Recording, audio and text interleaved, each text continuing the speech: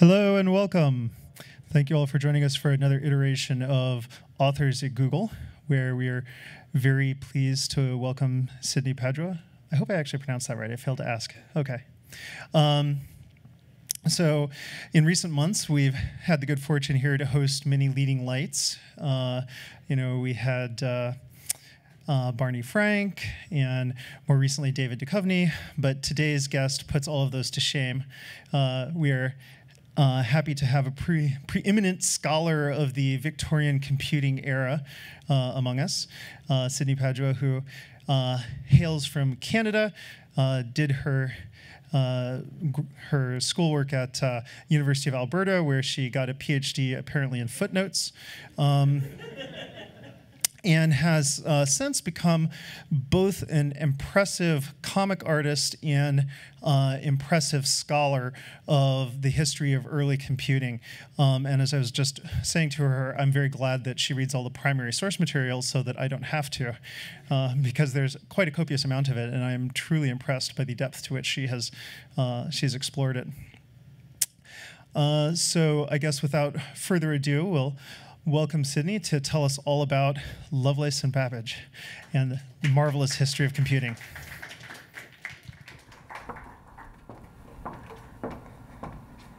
Uh, thanks. Uh, hi. Um, yeah, my name is Sydney Padua. Uh, I don't have a PhD, I should hasten to say. Um, I'm actually, uh, so this is me.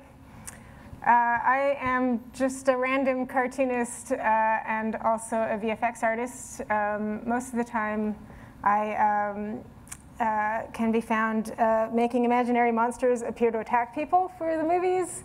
Um, I um, came from hand-drawn animation many years ago. I worked on Iron Giant, which um, is a film a lot of people really like. Um, since then, I've moved on to uh, computers where um, apparently I work on blue and orange movies. um, and I have to say, it's, it's really um, uh, very strange and hilarious. And five years ago, if you told me I would be giving a talk on computers at Google, uh, I would have laughed in your face because I was a very, very reluctant convert uh, to computer animation. Um, I've always uh, distrusted, computers. Um, I was uh, probably the last person to be dragged backwards uh, with my fingernails digging into the carpet uh, into CG from hand-drawn animation. Um, but uh, the reason I'm here is uh, because of these two crazy kids. Um, so that's Ada Lovelace and Charles Babbage. Um, I think a lot of people know their story roughly from Computer Science 101. You kind of get the quick rundown. Um, Charles Babbage, the Lucasian professor of mathematics at Cambridge, um, the position once held by Newton and currently held, I believe, by Stephen Hawking. Um, so he's pretty clever. Um, he uh, was famous in his own time for uh, this mysterious calculating machine, which was perpetually planned and never built um, which we would now recognize as a computer. And it, it is really amazingly a computer, um, as I'll talk about a bit later.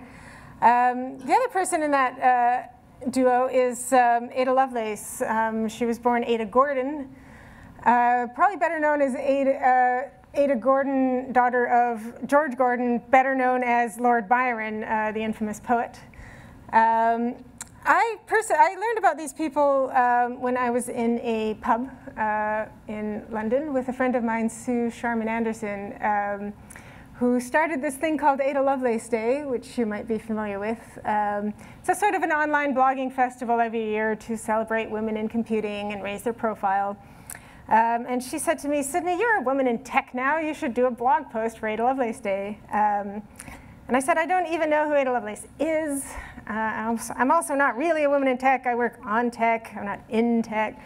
Um, but I went to Wikipedia like anybody else would, and uh, there I found this extraordinary story um, about Lovelace, who uh, was raised by mathematicians so that she would not become a crazy poet uh, like her father. And it had this very much a feel of a superhero origin story. You know, it had, that nice angsty backstory, um, conflict. Uh, and I thought, oh, that would make a really cute little comic. And I thought because I didn't know who Lovelace was, that I should probably a nice idea for a blog post would just be a short little comic.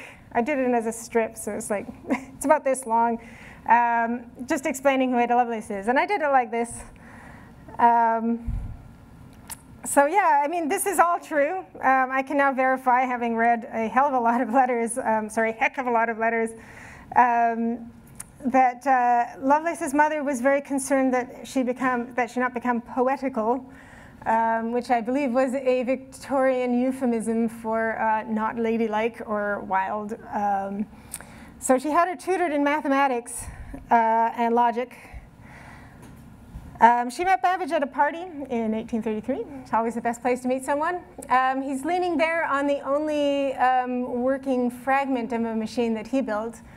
Um, that's a fragment of the difference engine, which was a calculator. Um, you can actually see that, uh, that uh, piece a beautiful machine um, made of brass in the Science Museum in London. It's about this big. And you could turn a crank and it could turn out, uh, you know, some little calculations. Um, at this party, apparently someone said, uh, as everyone gazed upon the machine like savages looking at a looking glass, um, only Ada Byron understood the true beauty of the machine and understood its function. Um, she sort of hung out with Babbage.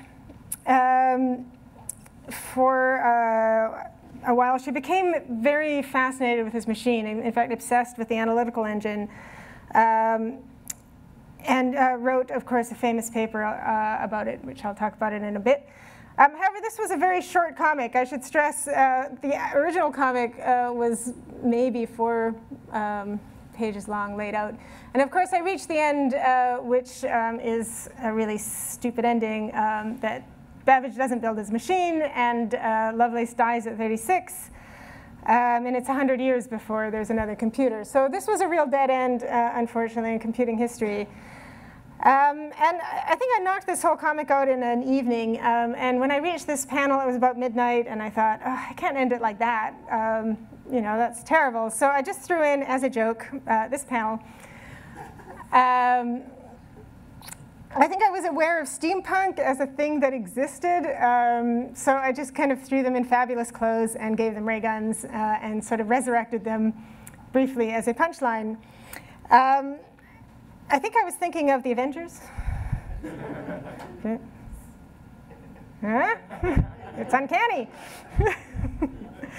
the, so I kind of put the threw the comic up online on my blog and went to bed. And then when I woke up this, the next morning, it was turning up all over the internet as um, this person is going to do a comic in which Ada Lovelace and Charles Babbage fight crime. it was a joke. Um, I uh, succumb easily to peer pressure, and uh, also I was putting off working on something else. Um, so I started drawing comics about Ada Lovelace and Charles Babbage fighting crime. Um, anyone who's read the comic will tell you this is a very sporadic uh, comic. Um, uh, they fight crime. They fight it quite badly. Um, it's quite a silly comic, I should stress. Anyone expecting a very serious comic uh, about Victorian computing is going to be out of luck because it's quite silly. Um, especially because their chief enemies, of course, as they were in life, are uh, poetry and street music, uh, which was Babbage's famous bugbear was, uh, was street music, so that's kind of his main nemesis, is the organist. Aside from um, uh, silly comics, um, if you look at the book, you will notice there's quite a lot of words in it for a comic. Um, this is because as I was doing the blog, um, I, um, I became very obsessed with reading kind of all the wonderful primary documents that were turning up online. Um, in a sense, uh, the, the, footnotes are a joke on um, Lovelace's famous paper, which you can see on Google Books. Um, this is it as it originally appeared. Um, Lovelace wrote her paper, uh, it began as a translation. Um, Babbage himself never wrote, never published um, anything an, on his own uh, machine or anything in detail. And of course, women did not normally publish scientific papers. This was not something that was done. Um, however, there was a space for women to do translations um, as, as, a sort of a ladylike accomplishment. Um, so when this paper, this is Menabrea, um, a guy, He eventually became Prime Minister of Italy. At the time, he was a guy. Um, at a uh, conference where Babbage spoke and described his machine, Menabrea took notes. He published the notes in French. Um, a year later, Lovelace translated the notes from the French into the English um, and began adding footnotes because as she read along, um, she herself was considered an expert on Babbage's machine at this time, um, mostly by um, hanging out and continually begging him for the plans. Um, uh, so she was known as someone who knew a lot about it. That's why she was asked to translate the paper.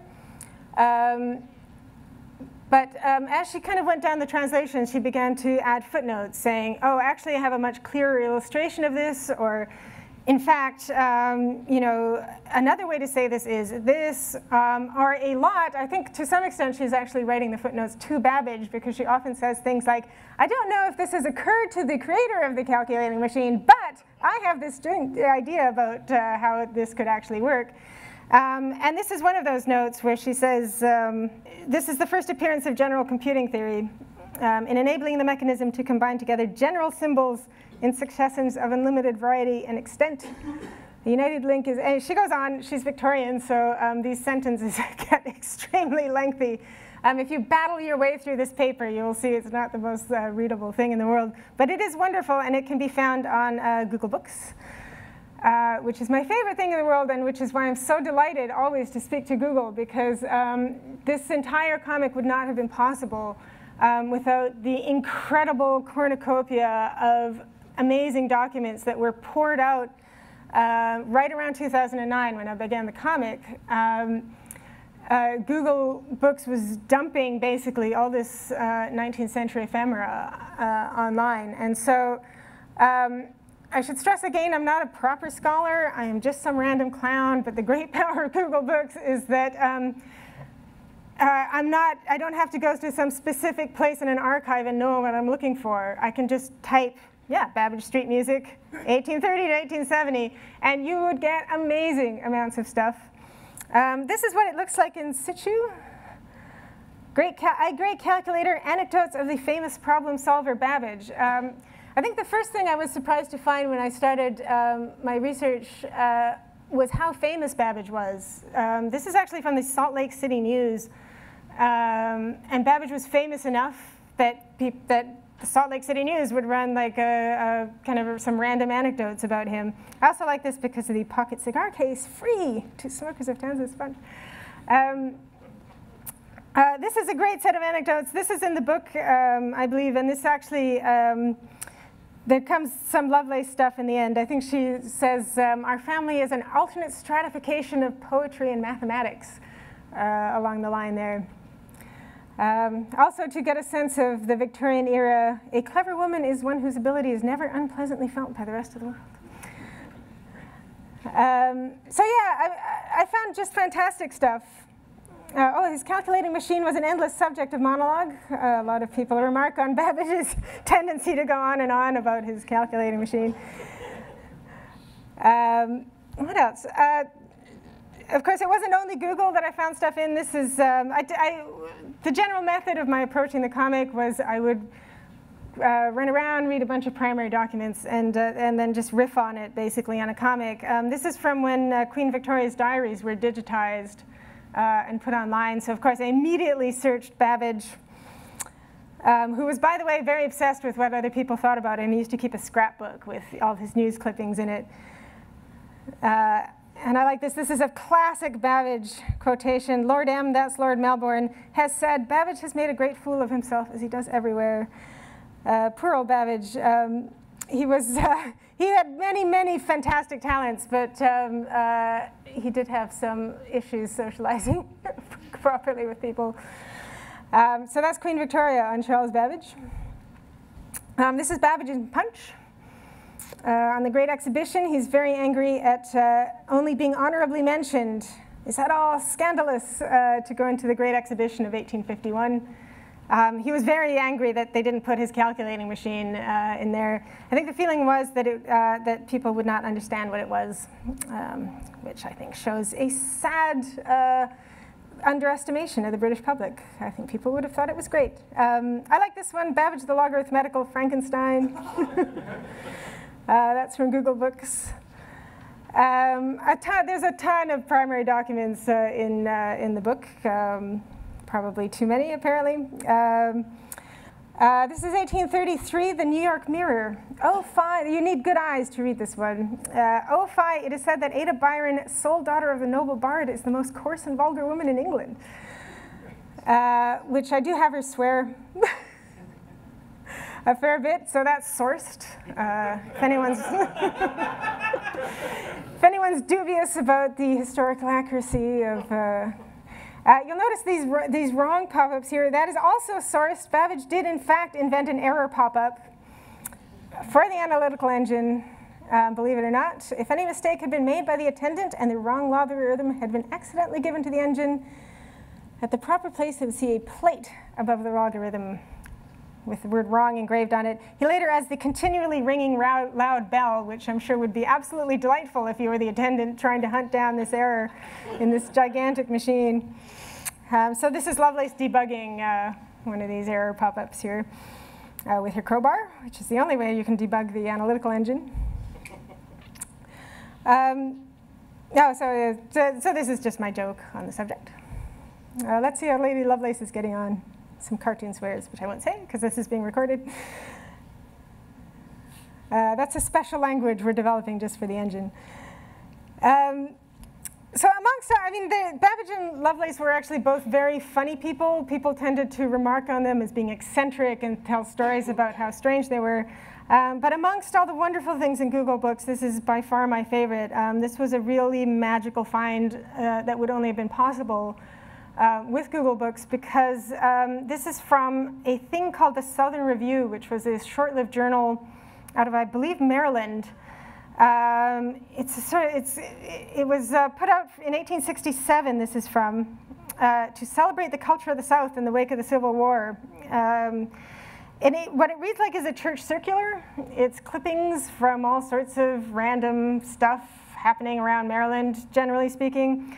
Uh, but one of them is, is your basic letter home to the folks from the guy who took a trip to Europe. Um, uh, this is Walter Reed, um, who's a wonderful writer, by the way. He was actually from Pennsylvania, a um, English professor there. And he writes by far the most vivid description of Babbage um, that I've found from the period. This is actually a letter from 1854. Um, I don't know why, they, I guess they had some space to fill in the old Southern Review uh, 10 years later, because um, uh, I'm not quite sure why they put it in. They put in the entire letter, which is about 13 pages long. Um, and he meets uh, several people, but one of them is Babbage. Um, and there's just a magical section. This is about two years after Lovelace had died. Um, and we get here, after he got up to go, by some chance of conversation, the late Lady Lovelace's name, Lord Byron's daughter Ada, was mentioned. He knew her intimately and spoke highly of her mathematical powers and of her peculiar capability, higher, he said, than that of anyone he knew, to prepare, I believe it was the descriptions connected with his calculating machine, I fear I'm not expressing myself rightly here as to the precise nature of the subject. Um, and I think he's talking about the programs here, um, the descriptions of how the machine would go through a problem. Um, so this is, um, uh, this is something that would not have been found without Google search, basically. If you're a Babbage scholar, um, I can't see any conceivable reason you would be reading through every single issue of the Southern Review 1867. Um, so yeah, thank you, Google. Um, it's, uh, it's, uh, it's just a magical thing. Um, so um, the other kind of stream of research I took um, was regarding the analytical engine in addition to all these, all these wonderful primary documents, they were extremely evocative of Babbage and Lovelace's people. They're extremely vivid personalities, um, and they write all their own material. They have, uh, they come up with great gags for themselves and great dialogue. Um, but there's sort of a third character um, in the comic, and that was always the analytical engine. Um, as I said, I'm not a computer person. Um, I, uh, um, so for me, when I tended to draw the engine, it's this vast, building-sized labyrinth of confusion. Um, people tend to get lost and attacked in it. but uh, I guess as I, as I was drawing the comic, I began um, being really frustrated by the fact that um, pretty much every book, even fairly specialist books on the engine, uh, would A, say it was exactly like a modern computer, but it's too complicated for you to understand it. Um, and also, they wouldn't give me a drawing of the engine, which um, really, as a comic artist, I want to see a drawing of a huge ass, huge ass engine made of, made of cogs. Um, you know, it's just eye candy. So um, uh, I had to um, actually make one myself. So you can get a sense of what this engine was. Um, a lot of you are familiar. Sorry, this is my own video, and I know I shot it like a noob in portrait. Um, so this is the beautiful, uh, let me turn on the sound because you have to hear it. This is the uh, difference engine um, that they built in Mountain View, California. This is them demonstrating it for me, which was just wonderful of them. You can hear me oohing and eyeing like an idiot uh, over it. Uh, those beautiful arms at the back are carrying the ones.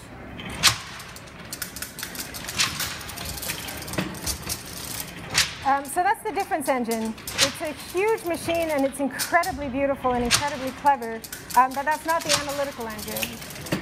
Um, there's two machines of Babbage, uh, the difference engine and the analytical engine. Um, the uh, difference engine is essentially an adder. Uh, it, it really only adds. It adds in a very specific way, um, in a very clever way, but it can only add. Um, right around eight, the 1830s, early 1830s, um, pretty much when Babbage met Lovelace, um, he, uh, he began to think, what if you could take the sum that came out of one end of the engine and put it back in the other end. Um, he described this as the engine eating its own tail. Um, so he devised a second machine, uh, the analytical engine. Um, he, he didn't build either of them, um, partly because um, it's just really super hard. I think a lot of people ask me, you know, why didn't Babbage build uh, the analytical engine? it's actually really, really, really hard to build a um, giant computer entirely made of cogs. Um, it's not a disgrace not to complete it. Um, Babbage also kept changing the plans. Um, so this is the famous um, Plan 25. Um, it's the most beautiful and the most complete of Babbage's plans. This is from 1840, so this is the machine that Lovelace would have been writing uh, her paper about. so I, I mean, at first, as you know, a comic artist uh, who is not very clever, I looked at this picture and said, ooh, and then I said, I have no idea what I'm looking at here. Um, so in order to draw the machine um, accurately, I had to basically go in and start doing elevations and hunt down as many of Babbage's um, diagrams as I could. Um, it was by no means straightforward um, to do an image of this, um, partly because Babbage wasn't very good at doing, at, at, at, at showing complete elevations.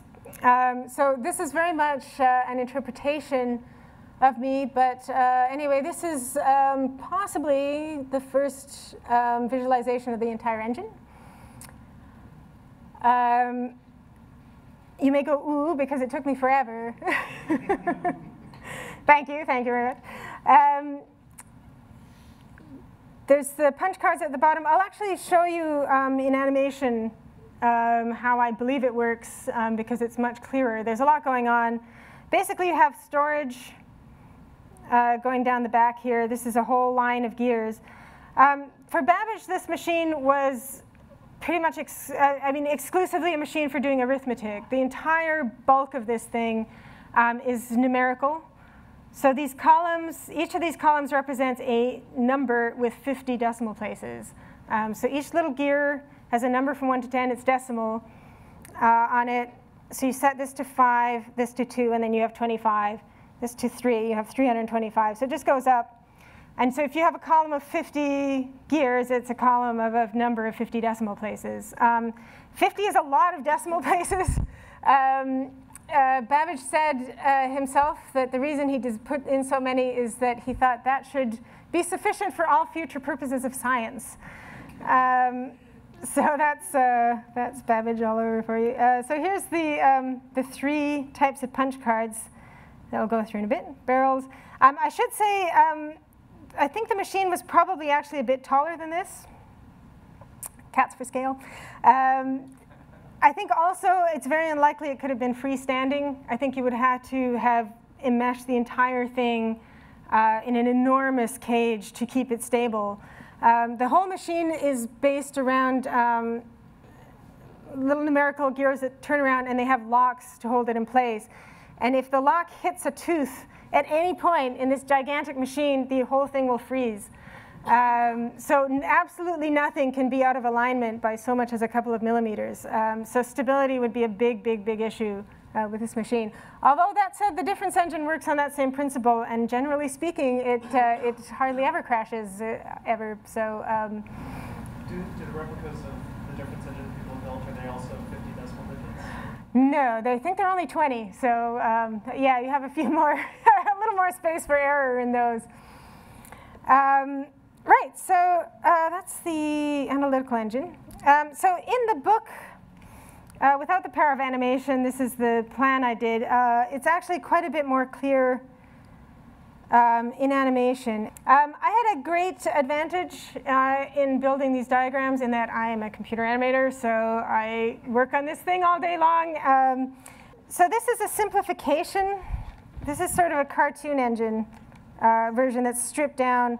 Um, partly because it's really uh, difficult to see what's going on uh, when you have the whole thing in. And also, it's so huge. See, I've helpfully labeled the layer whole thing. it's so huge, my machine really starts to struggle once you put in all those gears. Um, but it's just decimal places. So this is actually just a slice, and each slice going up is exactly the same. So you don't need all those 50 to understand the, the information flow so here's your engine. I'm assuming you guys are interested in this because you're computer people. Okay, good. uh, some people start to glaze over, but I thought Google would probably be it. uh, so, okay, uh, just so I can explain here, basically the red colors indicate the driver and the greens are passive. Um, come out, come out. Um, these, so the first thing that activates is the number card. Um, and that will be a card uh, with each 50 decimal number in, in holes, basically, or rather a lack of holes. The way these punch card things work, if there's a hole, so you'll have a whole arrangement of levers, each lined up to all the holes. Um, you'll have a hole pretty much everywhere except for one point.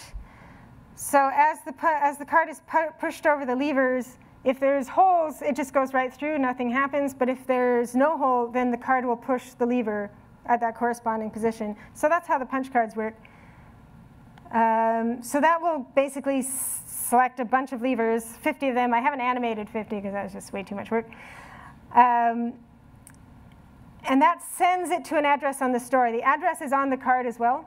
Um, Babbage has an addressing system. The machine is an incredibly beautiful and incredibly clever thing and really shockingly like a computer. Um, this is the store. Um, this is short, like the store would have gone on into the distance. Um, Babbage said maybe 100, maybe 1,000, maybe 5,000. Um, everyone wants more storage, obviously. Um, you'd run into a problem because the, the entire way that these read, so okay, so it reads one number onto the store, and then reads the second number onto the store. So that's the two storage positions. Um, now this is the, um, the operations card. I should say I'm slightly fuzzy as to the order of events. I think the operation card is next, but it might be the address, um, but it doesn't actually matter. Um, the operations cards are amazingly clever. Um, a single hole, they were quite small cards. A single hole um, would then rotate these barrels to a certain position. Um, there's actually three sets of barrels. And each of the barrels has 50 or 80 rows of pegs around. Um, so a single hole in an operations card could activate dozens and dozens of levers, which is what you need to run an operation. Um, the machine could do basically four things. It could add, subtract, multiply, divide. Um, any more complicated mathematical thing you did, you would have to be very clever in the programming end, uh, break it down um, into those four operations run it down a string of cards. Um, but it's, um, so all those levers are activated, and what they do is they then engage all the levers um, at one of these sections. Basically, each of these little sections, this is just a, a, cartoon version. All these little sections are beautifully worked out and extremely complicated. But each of these little sections does a specific thing, um, adding or carrying the ones, or he, if you were multiplying a number, it would break it up into multiply by one, multiply by two, multiply by three, into all these sections for speed. So uh, it basically engages that section, so it's all ready to go. Then the variable cards, which is the third kind of card. Um, this is the addressing system, basically. Uh, it then says, OK, pick up from address number one, engages the rack. The rack slides off into what you call the ingress axis, which is uh, this one at the front here. So this is, uh, sorry, I'm pointing, which you can't see. Um, so this is the position in the store, so it actively reads out to the passive ingress axis. Then that engages the big central wheel, possibly. I mean, this is all much more complicated, actually. There's a way more bits um, than I'm showing here. Um, and then this becomes active and reads the, num the number off uh, into whatever section it's been indicated. Reads the second number, so now it's got both numbers, and then it does a, a thing, basically. Um, each of these little bits is very, very specialized for specific um, uh, arithmetical thing. Um, you'll notice the, the barrels are turning around. The barrel would have uh, basically a little program in wedges around. So once you set it up with one operations card, then it runs through a little micro program. That's my scientific sound that, uh, that it would make. So once it's done, hooks back up so that now it's uh, ready to go. The number is processed. So it's taken those two numbers. It could only work on two numbers at a time and spit out a result. So it takes that number, hooks up to the output. Um, the output hooks up to the variable card to take the address that it's supposed to read out to, and then reads out. So now you have the, the result on the store. Um, and that will animate for you. Now you understand how everything's going on. Uh, it would take, I mean, it, it, runs in cycles like a computer. They're just way, way, way slower. Um, an, uh, a multiplication might take a few minutes to run because it's got to go through over and over again. Um, but um, I don't know much about computers.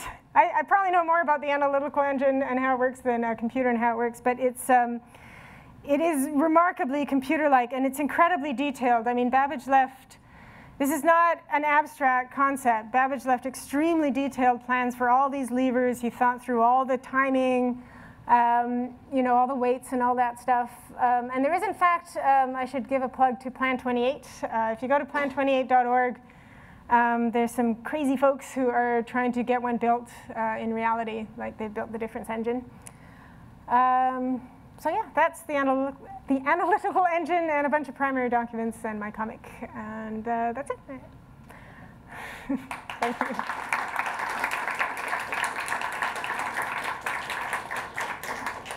Um, I think we have a few minutes for questions if anyone has any questions. Hi. So you said there would be one layer of these for every digit of the 50 digits. Mm -hmm. um, do you know how like the carry system work between layers? Yes. It's actually, I put a video on YouTube up, and it took me nine minutes to explain the anal analytical engine carry. Um, it's, uh, yeah, if you go to, uh, I guess I could put it, I could either explain it, bring up that file and explain it. He basically uses like a very, very ingenious um, system. Um, the, the carry arms, the spiral ones that go up the back of the difference engine, um, Babbage discarded those because they were too slow. They cost like 10 imaginary seconds off his imaginary machine. Um, so he, he devised, and this was by far his favorite part of the engine, was the ones mechanism. So he would be absolutely thrilled that someone was asking that question because uh, um, he goes, in his autobiography, he says, this is by far the most important part of the engine, is the system for carrying the ones. Um, basically, he had a little peg uh, on the nine on each um, gear. Um, so as it came around, if there was a peg, it's really hard to explain. Uh, if there's a peg and a peg below for a carry, it would lift um, two carries um, kind of onto the next gear.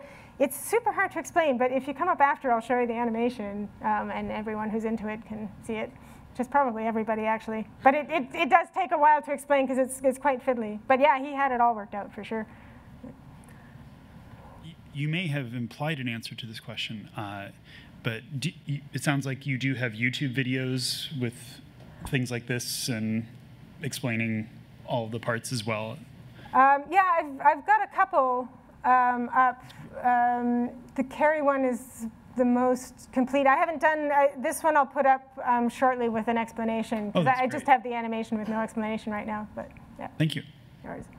So you said that the operations it could do did the four sort of fundamental arithmetic operations. It actually divides.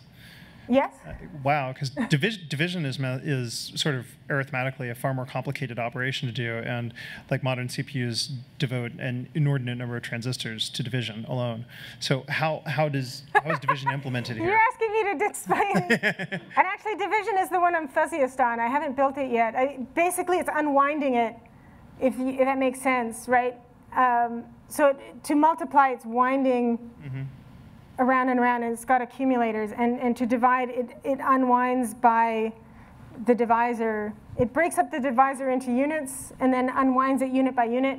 It's quite complicated, and it's very, um, like everything Babbage did, it's very, very clever, um, but quite kind of Rube Goldbergian. Goldbergian uh, it seems like you could just go through and stamp on every part. This part is quite clever. oh, he was so clever. so Ada Lovelace famously wrote programs for mm. this device. Did were her programs strictly mathematical? Like, like was she calculating logarithms and that sort of thing, or did she do? Did was there any approach towards the more general uh, computation? Um, Lovelace's paper has there's a bunch of programs. Um, most most of them are quite short and were sort of Babbage's little tiny workouts. There's a huge fold-out one, the Bernoulli, Bernoulli numbers one, that kind of demonstrates all the loops. This machine can loop, by the way. It can instruct itself to go back around. Um, her, those programs are all strictly mathematical. Um, and Babbage, for sure, only saw the machine as, as for doing specifically arithmetic. Um, so no Minecraft then? No, um, but um, Lovelace um, had actually looked at the machine and said, um, I mean, it was Lovelace who looked at the machine and said, actually, um, with the new developments in logic, um, this is before Boole by about 10 years, but um, she was a student of Augustus de Morgan who was um, trying to find this way of mathematizing logic. Um, so she looked at it said, you know, with these levers and pegs, you could, in theory, turn this into a logic machine, uh, not an arithmetic machine. And her example was, was music theory, which is probably way, way in advance. Um, but she said if you could, if you could take the rules of music theory um, and find a way to express them into, a, she didn't use the word program, but into a set of rules for the machine, the machine could, in theory, compose music, uh, scientific music, she said, of any extent. Um, but no, I, I, we don't have any, um, uh, unfortunately, any experiments in that direction from her. Um, and I think it would have, like you would, to actually do that sort of thing with a machine, you'd have to redesign the whole thing um, because the enormous bulk of it is really, really very, very specialized to, to arithmetical uh, bits. So um, I, am really um, uh, blown away by the extent to which you got uh, your head in, in, into the workings of this machine. Um, I also expect you got your head into the workings of Charles Babbage and Ada Lovelace personally can you talk to me a little bit about sort of um, how how you came to grips with what motivates them as people and um, how and or to what extent you sort of personally identified with them as in the, in the process of doing all the work? Um, I think um, for for um, hmm, they were both definitely became incredibly absorbed with. Uh, with this machine and what it could do. Um, in terms of what drove them, it's, um, I don't know, it's hard to say. I mean, I think once, once you see how it could work, you know, especially if you're Charles Babbage with this brain that can see all these possibilities uh, and, and that can see the machine. I mean, I guess what you'd call his spatial reasoning skills must have been remarkable. Um, it drove him nuts that, he, that, that, that something he could see so clearly wasn't actually happening. So he became obsessed with solving all the problems, and he kept solving the problems you know, past the point that the problems were so many decades away from existing. You're like, Babbage, stop. Uh, the carry, I mean, the carry mechanism is, a, is classic Babbage in that he had a carry mechanism design that worked, the difference engine one, but it, it was too slow. You know, it had to look ahead uh, I mean, it, it, couldn't look ahead. It had to kind of feel out one at a time. And he spent a year, he says in his autobiography, he spent an entire year shaving these imaginary seconds off of this machine. Um, so for him, it was definitely solving all these problems and getting the perfect machine. Um, for Lovelace, she's, you know, as, as, always, she's a lot murkier and more complicated. And she, in the comic, she can be the Batman-esque, you know, kind of uh, angst-ridden one. Um, uh, for her, uh, she actually wrote in a letter to her mother, it's a bit weird. She, she was very, obviously, her father's legacy um, as a genius, but also as a genius who had um, brought basically sex and uh, uh, danger to, uh, into the world. Um, she said to herself that she felt she should redeem her father's legacy by finding a way to unify poetry and mathematics, um, which is an, extra an extraordinarily strange thing, but an extraordinarily marvelous thing to say. She said she wanted to create a poetical science, um, which, in a way, if you think about it, programming is a sort of a poetical science. It's a unifying of metaphor um, and logic um, in a way that's, that's very beautiful. So um, yeah, for her it was, she felt that, yeah, she had this, this dark legacy that she had to uh, redeem. Um, and in terms of identification, I don't know, I could never have come up with this in, in 50 million years. I'm not a super genius. And I really felt that every second at, at looking at, at this machine and also at Lovelace's paper. Um, you know, to make the leap from this before, again, as I say, logic at the time was still basically Aristotelian you know, in terms of sentences um, and, and, and syllogisms, to look at this machine and say, there's got to be a way to make logic this perfect and this machine-like. Um, and then this machine could, could compose music. I mean, it's just a completely extraordinary feat of imagination to see that in the machine. Um, so yeah, I, I, I um, yeah, I'm just completely blown away by their genius and, and humbled by it. Does that answer the question?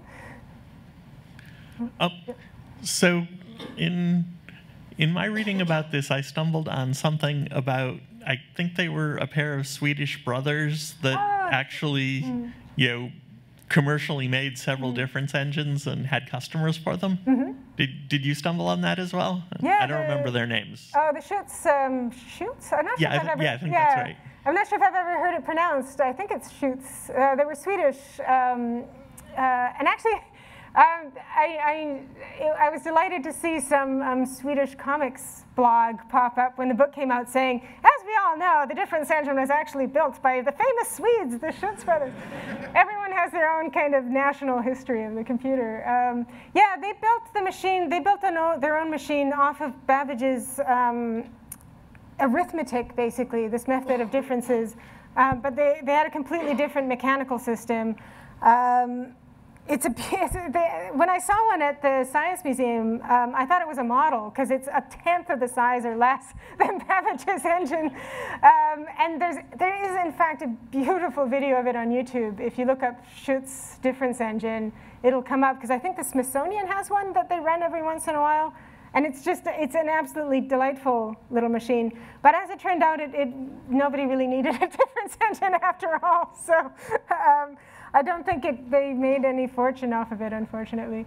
I think I heard they built like three or something. Yeah, there's one in, the, I guess the astronomic, astronomical lab in the US bought one, and uh, there was one in England, and I, one in Sweden, I guess, and everyone was like, oh, actually, these aren't that useful. So, it's quite sad, actually.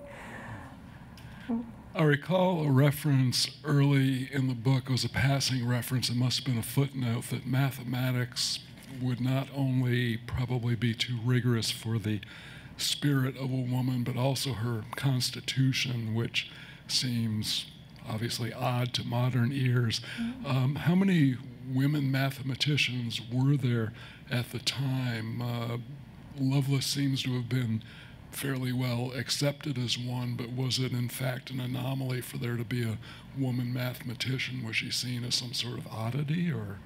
Yeah, I mean, what people tend to see it as cute, to be honest. It's it, they they tend to write, oh, you know, isn't that adorable? A woman trying to do mathematics. Um, the letter about her uh, about mathematics damaging a woman's constitution is actually from Augustus de Morgan, um, who wrote to her mother saying uh, twice, apparently, saying, I'm, I'm very, very concerned because um, Lady Lovelace has as much mathematical power as would challenge the constitution of a man. And, you know, somehow, you know, this, he felt that it was overclocked for a woman's body. I mean, this was actually a very common idea. And he said, uh, he, he, gave, he gave me some great comic book dialogue. He said, soon the battle between, soon the struggle between body and mind will begin. um, and I mean, it's, it's actually incredibly sad and ironic because the idea was that, um, math, that mathematics, this excessive use of that part of the brain would specifically damage women's wombs. Um, and Lovelace did in fact die of, of uterine cancer. So um, yeah, it was just, I, and I can't find anyone using that as proof. I'm sure somebody somewhere said, I told you. Um, uh, and actually, Lovelace's um, mentor was Mary Somerville. Um, sorry, I'll leave that up. Um, after whom Somerville College in Oxford is named. She did all these very complicated translations of works from the continent. And Lovelace was very definitely modeling herself on Somerville in doing the translation of the analytical engine uh, paper. Um, but Somerville um, had to study in secret because her parents thought she would hurt herself uh, studying math. And her, I think her first husband didn't agree with her studying math, so she, she wrote her first mathematics book when she was 45, uh, when he died. That's when she got her first freedom. So no, it was very, very unusual. I mean, it was, Lovelace is kind of at the end of that era. Um, they started to have uh, women's programs in college in the 1870s, 1880s, and I think that's when it started to turn around. So I want to thank you for all the amazing work you've done, the the great comic and the really beautiful book. Um, but uh, I've got to wonder, like, where are you heading now? Like, you know, you said that you were sort of ambushed by the comic, and is there still going to be a comic? I mean, I hope. Uh, yeah, no, I, I, get this question a lot, and I'm I'm just kind of. Um, uh, Actually, I have not quit the proverbial day job. Um, I still work as an animator, um, which is quite uh, all-consuming work uh, when it's on. Um, I definitely have a bunch more comics I'm dying to do. I've got a ton of uh, sketches, so when work dies down a bit, I'll be I'll be cracking on for sure. It, um, my understanding is that there was a couple of critical problems, maybe just one that needed the difference engine. Mm. Uh, back when Babbage was born, computer was a job title. Mm-hmm. They were the people who manually computed tables of logarithms, and they were full of errors. And this led to things like ships sinking. Mm-hmm. And it may just be that one difference engine was enough to solve that problem, and there weren't any other problems. Yeah, I mean, the, the, this was kind of Babbage's thing. The, the, difference engine wasn't supposed to solve a specific calculation. It was supposed to print out these big tables. Because what, what would happen is you'd have these giant books of every iteration of a problem. And then when you were at sea without your difference engine, um, or in your accountant's office or whatever, um, you would just go to volume 15 and pull it up and look up that one little iteration. Um, but Babbage himself actually uh, supervised this production of these, you know, beautifully triple-checked, error-free logarithm tables. After which, yeah, you don't need anymore because they're all done. So that was, um, yeah, the, the difference engine was redundant by the time, um, you know, those tables were printed. So I think for him it was more of an art object, maybe. he, did, he used to, to throw a lot of stuff around about all the problems it could solve, but he was really more into just building the engine itself, I think what's happening to your originals from the book? Oh, uh, there are in fact, no originals from the book. Uh, it's completely drawn uh, in Photoshop on a Cintiq. Uh, so yeah, it's, it's a virtual comic, computer generated. so if the point of the engine was to, you know, produce tables of numbers without errors, and he had 50 decimal digits of precision, did he ever work out how many volumes were going to be required to print that out? I am quite sure he did. Babbage was a Babbage loved working stuff like that out. Um, so I can't tell you specifically, but I will tell you if it involves working out an amount of a thing, um, Babbage would have done it at some point. Even under fixed point, you're talking about a lot of books. uh, are there any other questions? Okay, well, let's thank our guests. Thank you very much. Thank you. Thank you very much.